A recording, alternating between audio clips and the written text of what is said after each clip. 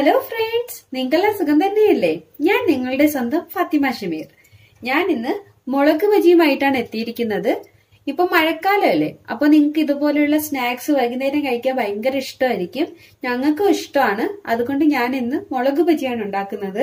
അപ്പൊ നമുക്ക് മുളക് ബജി തയ്യാറാക്കുന്നത് എങ്ങനെയാ നോക്കിയാലോ? അതിനായിട്ട് നമുക്ക് മുളക് എങ്ങനെ ക്ലീൻ ചെയ്യാന്ന് നോക്കാം. ഞാനിവിടെ മുളക് ബജി തയ്യാറാക്കാനുള്ള മുളക് എടുത്തിട്ടുണ്ട്. ഇത് പല വലിപ്പത്തിലും കിട്ടുന്നതാണ്. ഇത് അത്യാവശ്യം നല്ല എരിവുള്ള മുളകാണ്. അതുകൊണ്ട് ഞാൻ ഇതിന്റെ സെന്ററിലുള്ള കുരു കളയുകയാണ്. അപ്പൊ നമുക്കിത് സെന്റർ കീറിയെടുക്കാം. ഇത് വിട്ടു പോകാതെ ഇവിടെ വരെ മാത്രമേ കീറാൻ പാടുള്ളൂ. ഇനി അടുത്തതായിട്ട് ഇതൊന്ന് അകത്തിയിട്ട് ഇതിനകത്തുള്ള ഈ കുരുക്കളെല്ലാം ഒന്ന് റിമൂവ് ചെയ്യണം. ഞാനിവിടെ ഫോർക്ക് ഉപയോഗിച്ചാണ് റിമൂവ് ചെയ്യുന്നത്. നിങ്ങൾക്ക് എന്താണോ കംഫർട്ട് അതനുസരിച്ച് റിമൂവ് ചെയ്യുക. എനിക്ക് ഫോർക്കാണ് കുറച്ചുകൂടി ഈസി ആയിട്ട് തോന്നിയിട്ടുള്ളത്. ഇതിനകത്തുള്ള ആ നാരും കുരുക്കളൊക്കെ നന്നായിട്ട് റിമൂവ് ചെയ്യുക ഞാനിപ്പോൾ ഇതിനകത്തുള്ള കുരു ആ നാരൊക്കെ എടുത്ത് കളഞ്ഞിട്ടുണ്ട്. ഇനി അടുത്തതായിട്ട് ഒരു ബൗൾ വെള്ളം എടുക്കുക. അതിൽ ഒരു ടേബിൾ സ്പൂൺ ഉപ്പ് ചേർത്ത് നന്നായിട്ട് കലക്കണം. എന്നിട്ട് നമ്മൾ എടുത്തു വെച്ച മുളക് ഇതിലേക്ക് ഡിപ്പ് ചെയ്ത് വെക്കാം. ഇതൊരു ഓപ്ഷണലാണ് ഇങ്ങനെ ചെയ്ത് ഒരു മണിക്കൂറെങ്കിലും ഇതുപോലെ മുക്കി വെക്കുകയാണെങ്കിൽ നമ്മുടെ മുളകിൽ അല്പം ഉപ്പ് പിടിച്ചിരിക്കും. അപ്പോൾ നമ്മുടെ മുളക് ബജിക്ക് കുറച്ചുകൂടി ടേസ്റ്റ് ആണ്. സപ്പോസ് നിങ്ങൾക്ക് ടൈം ഇല്ല എന്നാണെങ്കിൽ ഇത് ഒഴിവാക്കാം. നിങ്ങൾക്ക് ഇപ്പൊ ടൈം ഉണ്ട് നിങ്ങൾ ഉച്ചയ്ക്ക് പ്ലാൻ ചെയ്യാണ് വൈകിട്ട് മുളക് ബജി ഉണ്ടാക്കാം. എന്ന് പ്ലാൻ ചെയ്യുകയാണെങ്കിൽ ഉച്ചയ്ക്ക് ഇതുപോലെ കുരുവൊക്കെ കളഞ്ഞിട്ട് ഒരു ബൗളിൽ കുറച്ച് വെള്ളം എടുത്ത് അതിൽ ഉപ്പ് ചേർത്ത് ഇതുപോലെ മുളക് മുക്കി വെക്കുക. എപ്പോ നമ്മൾ ഉണ്ടാക്കുന്നുവോ ആ സമയത്ത് നമുക്ക് ഇതിൽ നിന്ന് മാറ്റിയിട്ട് മാവിൽ മുക്കി പൊരിക്കാവുന്നതാണ്. നിങ്ങളൊന്ന് ട്രൈ ചെയ്ത് നോക്കൂ. നിങ്ങൾക്ക് തീർച്ചയായിട്ടും ഇഷ്ടാവും. ഞാനിപ്പോ മുളക് വെള്ളത്തിൽ നിന്ന് മാറ്റിയിട്ടുണ്ട്. ഞാൻ ഈ മുളക് രണ്ടു മൂന്ന് മണിക്കൂർ ഇട്ട് വെച്ചിരുന്നു. നിങ്ങൾ മിനിമം ഒരു മണിക്കൂറെങ്കിലും ഇടാൻ ശ്രമിക്കുക. ടൈം ഇല്ലെങ്കിൽ ഞാൻ പറഞ്ഞല്ലോ നിങ്ങൾക്ക് ഇത് സ്കിപ്പ് ചെയ്യാവുന്നതാണ്. ഞാനിപ്പോ മുളക് വെള്ളത്തിൽ നിന്ന് എടുത്ത് വെള്ളം മുഴുവൻ പിഴിഞ്ഞു കളഞ്ഞിട്ടുണ്ട്. ഇനി നമുക്ക് മുളക് ബജി ഉണ്ടാക്കാൻ തുടങ്ങാം. അതിനായിട്ട് മാവ് മിക്സ് ചെയ്യണം. ഞാനിവിടെ ബാറ്ററിനായിട്ട് ഒരു കപ്പ് കടലമാവാണ് എടുത്തിരിക്കുന്നത്. ഇതിലേക്ക് മൂന്നിലൊന്ന് കപ്പ് അരിപ്പൊടി ചേർത്ത് കൊടുക്കാണ്. നമ്മൾ എത്ര കടലമാവ് എടുക്കുന്നോ അതിന്റെ മൂന്നിലൊന്ന് അരിപ്പൊടി ചേർക്കണം. ഇനി നമുക്കിത് നന്നായിട്ട് മിക്സ് ചെയ്ത് കൊടുക്കാം. ഞാൻ മിക്സ് ചെയ്യാനുള്ള സൗകര്യത്തിന് വേണ്ടി കടലമാവ് ഒരു വലിയ ബൗളിലോട്ട് മാറ്റിയിട്ടുണ്ട്. ഇനി നമുക്ക് ഇതിലേക്ക് മുളക് പൊടി ചേർത്ത് കൊടുക്കാം. ഞാനിവിടെ രണ്ട് ടീസ്പൂൺ കാശ്മീരി മുളക് പൊടി ചേർക്കുന്നുണ്ട്. അര ടീസ്പൂൺ മല്ലിപ്പൊടി. കാൽ ടീസ്പൂൺ കായത്തിന്റെ പൊടി. ആവശ്യത്തിന് ഉപ്പ്. ഞാനിവിടെ രണ്ട് ടീസ്പൂൺ കാശ്മീരി മുളക് പൊടി അര ടീസ്പൂൺ മല്ലിപ്പൊടി കാൽ ടീസ്പൂൺ കായത്തിന്റെ പൊടി ആവശ്യത്തിന് ഉപ്പ്. ഇത്രയും ചേർത്ത് കൊടുത്തിട്ടുണ്ട്. ഇനി നമുക്കിത് നന്നായിട്ട് മിക്സ് ചെയ്തെടുക്കാം. ഞാനിവിടെ കാശ്മീരി മുളക് പൊടിയാണ് യൂസ് ചെയ്തിരിക്കുന്നത്. അപ്പോൾ നമ്മുടെ ബജിക്ക് നല്ലൊരു കളർ കിട്ടുന്നതായിരിക്കും.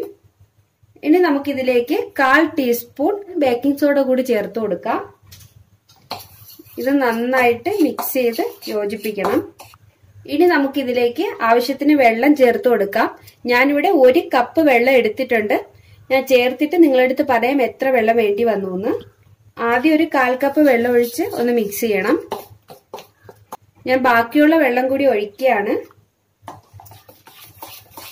ഞാൻ ഒരു കപ്പ് വെള്ളം കറക്റ്റ് ഒഴിച്ചിട്ടുണ്ട്. നമുക്ക് ഒരു കപ്പ് കടലമാവും മൂന്നിലൊന്ന് അരിപ്പൊടിയും കുഴച്ചെടുക്കാൻ വേണ്ടിയിട്ട് കറക്റ്റ് ഒരു കപ്പ് വെള്ളം വേണം. ഇതെല്ലാം ഞാൻ മെഷർമെന്റ് കപ്പിലാണ് എടുത്തിരിക്കുന്നത്. ഇപ്പൊ നമ്മുടെ ബാറ്റർ നല്ല പാകമായിട്ട് വന്നിട്ടുണ്ട്. എങ്ങനെയാണ് പാകമായെന്ന് മനസ്സിലാക്കുന്നതെന്ന് വെച്ചാൽ നമ്മൾ കയ്യിൽ ഇങ്ങനെ ബാറ്റർ എടുത്തിട്ട് ഫിംഗേഴ്സ് ഇങ്ങനെ അകത്തി കൊടുക്കുമ്പോഴത്തേക്ക് നമ്മുടെ ബാറ്റർ കയ്യിൽ ഇങ്ങനെ തങ്ങി നിപ്പുണ്ടാവും. അങ്ങനെയാണ് നമ്മൾ കറക്റ്റ് പാകമായെന്ന് അറിയുന്നത്. കണ്ടില്ലേ? ബാറ്റർ ഇപ്പൊ കയ്യിൽ തങ്ങി നിപ്പുണ്ട്. ഇതുപോലെ നമ്മുടെ മുളകിലും ബാറ്റർ തങ്ങി നിൽക്കും ഇങ്ങനെയാണ് പാകം നോക്കുന്നത്. നമ്മുടെ ബാറ്ററിൽ കട്ടകളൊന്നും ഇല്ലാന്ന് ഉറപ്പാക്കണം. ഇപ്പൊ നമ്മുടെ ബാറ്റർ തയ്യാറായിട്ടുണ്ട്. ഇനി നമുക്കിത് ഫ്രൈ ചെയ്തെടുക്കാം. ഫ്രൈ ചെയ്യാനായിട്ട് നമുക്ക് ഒരു ചീനിച്ചട്ടിയിൽ ആവശ്യത്തിന് ഓയിൽ ഒഴിച്ച് തിളപ്പിക്കാം.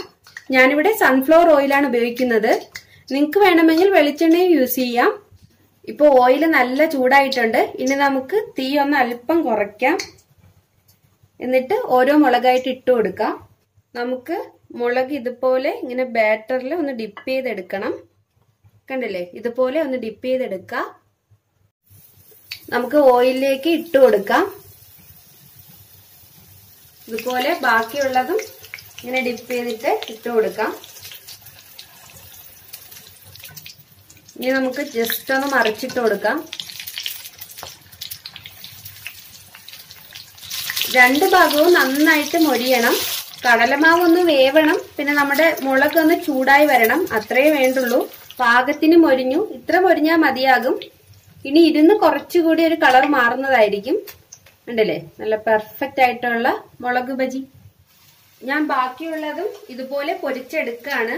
സത്യത്തിൽ ഇവിടെ ഇപ്പൊ ഉണ്ടല്ലോ. നമ്മൾ മഴ സമയത്ത് ഈ വഴിയോര കടയിൽ ഇങ്ങനെ ചായയും പൊരിപ്പ് ഐറ്റംസും ഒക്കെ വിൽക്കുമല്ലോ അവിടെ എത്തിയ ഒരു അറ്റ്മോസ്ഫിയർ ഉണ്ട് ഇവിടെ.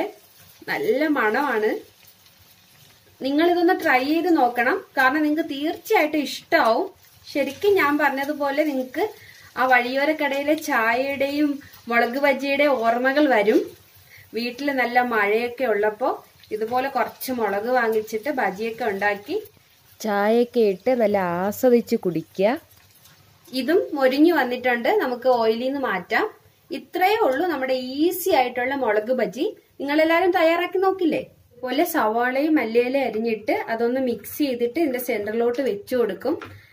ഇതാണ് ഇതിന്റെ കോമ്പിനേഷൻ നല്ല ടേസ്റ്റ് ആണ് ഇങ്ങനെ കഴിക്കാൻ. നിങ്ങളൊന്ന് ട്രൈ ചെയ്ത് നോക്കൂ. ഇതിന്റെ കൂടെ പ്രത്യേകിച്ച് ചട്നിയുടെ ഒന്നും ആവശ്യമില്ല. ഈ സവാളയും മല്ലിയിലയും മാത്രം മതിയാകും. മല്ലിയിലയുടെ ഫ്ലേവർ ഇഷ്ടമല്ലാത്തവർക്ക് മല്ലിയില ചേർക്കേണ്ട സവാള മാത്രം മതി. ഞാനിപ്പോ ഈ മുളകിന്റെ സെന്റർ ഭാഗം ഇങ്ങനെ ഒന്ന് അകത്തി കൊടുത്തിട്ടുണ്ട്. നല്ല ചൂടാണ്. ഇതിലേക്ക് നമുക്കിങ്ങനെ സവാള വെച്ചു കൊടുക്കാം.